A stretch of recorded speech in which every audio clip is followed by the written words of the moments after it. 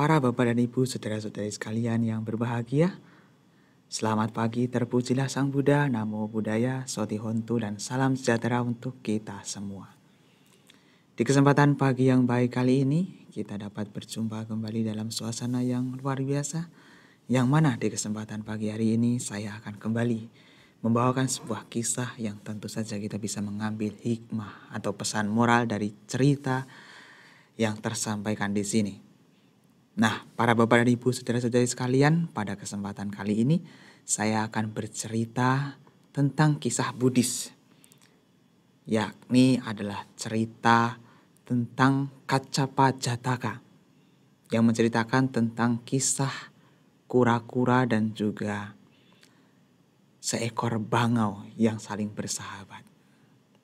Apakah Anda semua pernah mendengar kisah ini? Kalau belum, simaklah dengan penuh perhatian dan ambillah pesan moral yang bisa dipetik dari kisah Jataka ini. Sebenarnya kisah ini disampaikan oleh Sang Buddha ketika beliau berdiam di wihara yang disebut sebagai Jetawana. Yakni ini adalah mengenai sikap Kokalika yang merupakan seorang biku yang sebenarnya karena ucapannya ia mendapatkan banyak sekali permasalahan gara-gara ia tidak bisa menjaga ucapannya. Kan kita sering mendengar juga ada pepatah mulutmu harimaumu. Nah, sebenarnya sama di sini Kokalika ini juga sama punya masalah karena ia tidak punya pengendalian, tidak bisa mengendalikan ucapannya. Dikisahkan dahulu kala Brahmadatta adalah seorang raja Benares. Bodhisatta terlahir di istana, tubuh dewasa menjadi penasihat raja dalam segala urusan pemerintahan dan spiritual. Tetapi raja ini sangat suka berbicara. Ketika dia berbicara, tidak ada kesempatan untuk yang lainnya mengucapkan sepatah kata pun. Dan Bodhisatta menunggu satu kesempatan, berharap dapat menghentikan pembicaraannya yang banyak itu. Kala itu di sana terdapat seekor kura-kura yang menetap di sebuah kolam di daerah Himalaya. Dua angsa muda liar ketika sedang mencari makan bertemu dengan kura-kura ini. Lama-kelamaan mereka menjadi teman akrab. Mereka menjalin sebuah persahabatan. Suatu hari dua angsa itu berkata kepadanya, kepada kura-kura itu. Teman kura-kura, kami memiliki sebuah rumah yang indah di Himalaya. Di atas satu dataran tinggi di gunung Citakuta. Di dalam sebuah gua emas Maukah Anda pergi bersama kami? Bagaimana caranya? Kata kura-kura itu. Bagaimana caranya saya bisa ke sana? Oh tenang, kami akan membawamu jika kamu dapat menutup mulutmu dan tidak mengucapkan sepatah kata pun kepada siapa pun. Ya baik, saya dapat melakukan itu. Katanya, bawalah saya tidak apa-apa. Jadi mereka menyuruh kura-kura menggigit sebuah batang kayu dengan giginya. Dan mereka sendiri memegang kedua ujung batang tersebut. Mereka terbang ke udara. Anak-anak desa melihat ini dan berseru, Wih, di sana ada dua angsa membawa seekor kura-kura dengan sebatang kayu. Pada saat ini, Kedua angsa yang terbang dengan cepat telah sampai di atas istana raja di Benares. Kura-kura kemudian ingin berteriak, "Ya, dan jika teman-temanku membawaku, apa hubungannya dengan kalian orang-orang jahat?" Ia pun melepaskan gigitannya pada batang kayu itu dan jatuh ke halaman istana. Akhirnya terbelah menjadi dua. Betapa risuhnya keadaan di sana pada waktu itu. Seekor kura-kura jatuh ke halaman istana dan terbelah menjadi dua. Teriak mereka, teriak orang-orang di sana. Raja dengan bodhisatta dan semua anggota istananya datang ke tempat itu Dan ketika melihat kura-kura tersebut, raja menanyakan kepada Bodhisatta sebuah pertanyaan. Guru yang bijak, apa yang membuat makhluk ini jatuh? Sekaranglah saatnya, pikir Bodhisatta. Untuk waktu yang lama saya berharap untuk menasihati raja. Dan saya telah menunggu-nunggu kesempatan itu. Tidak diragukan lagi. Kenyataannya adalah begini. Kura-kura dan kedua angsa menjadi teman menjadi sahabat.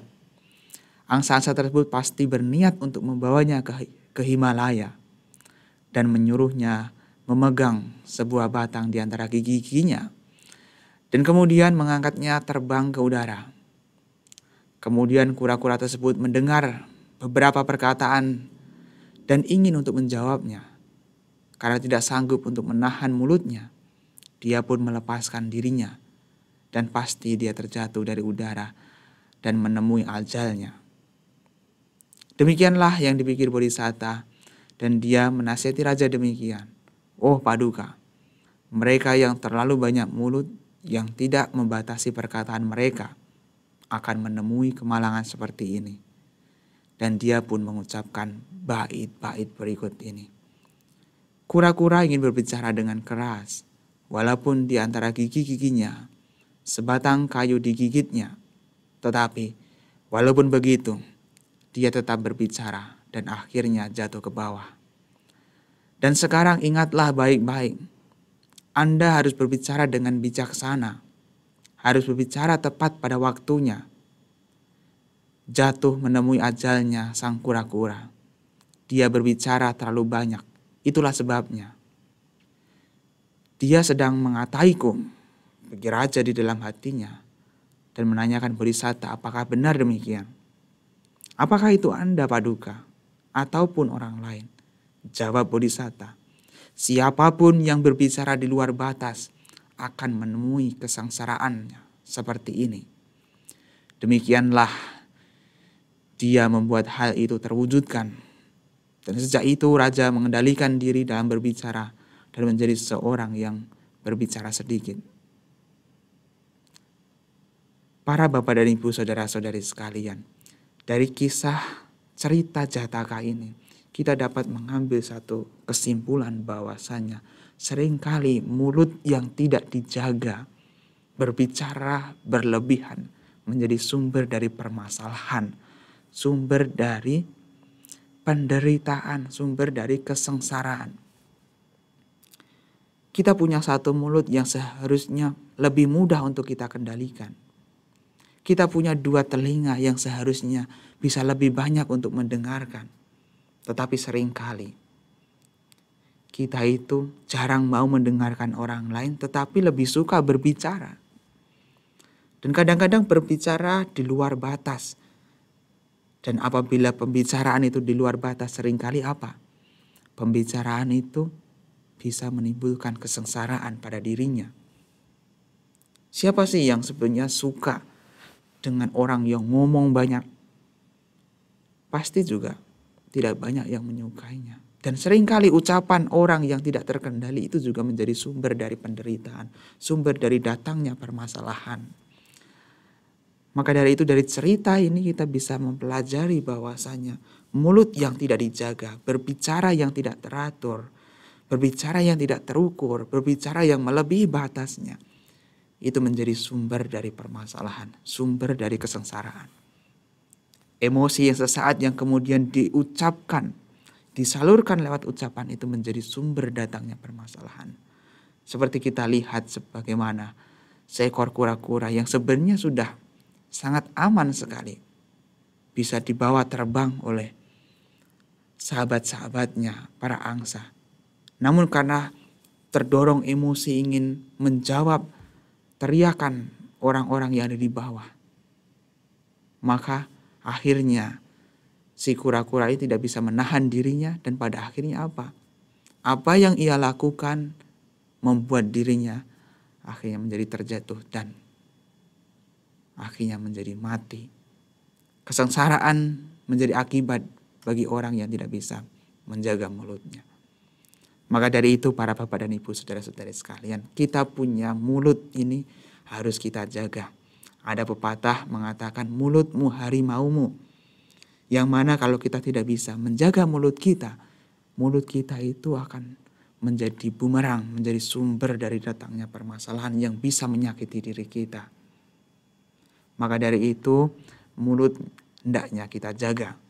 Lidah kita juga hendaknya kita jaga, jangan sampai kita berkata-kata kasar, berkata-kata yang dapat menyakiti orang lain, yang sesungguhnya itu menjadi sumber datangnya penderitaan, sumber datangnya permasalahan untuk kehidupan kita. Barang siapa yang tidak bisa menjaga ucapannya, sering kali ia akan mengundang banyak masalah, banyak pertikaian, banyak ketidaksukaan. Maka dari itu, jagalah mulut kita. Berbicara yang penting, bukan yang penting bicara. Kita harus bisa menyaring sebelum kita berbicara. Apakah yang kita bicarakan itu ada sesuatu yang bermanfaat atau tidak? Apakah yang akan kita bicarakan itu ada sesuatu yang baik atau tidak? Apakah yang kita bicarakan itu sesuai dengan waktunya atau tidak? Itu harus dipertimbangkan matang-matang. Kalau tidak, sering kali apa yang kita ucapkan bisa menjadi sebab dari permasalahan, bisa melukai orang lain, bisa membuat orang lain jengkel. Dan tentu saja tindakan kita itu bisa mendatangkan masalah yang besar untuk diri kita. Maka dari itu, jagalah mulut Anda. Karena mulut Anda bisa bermanfaat kalau digunakan dengan baik, tetapi juga bisa mendatangkan bahaya bila digunakan dengan cara yang tidak benar. Itulah para bapak dan ibu saudara-saudari sekalian yang berbahagia, pesan moral yang bisa kita ambil dari kisah Jataka ini. Semoga ini menjadi penyemangat sekaligus pengingat bagi kita semua untuk tetap bisa mengendalikan ucapan, mengendalikan mulut kita. Sebisa mungkin kita bisa menggunakan kata-kata yang baik, menjaga mulut kita untuk tetap berkata-kata yang baik. Sekian yang dapat saya sampaikan. Terima kasih atas perhatiannya. Akhir kata, sabe sata bawantu sukitata. Semoga semua makhluk hidup berbahagia.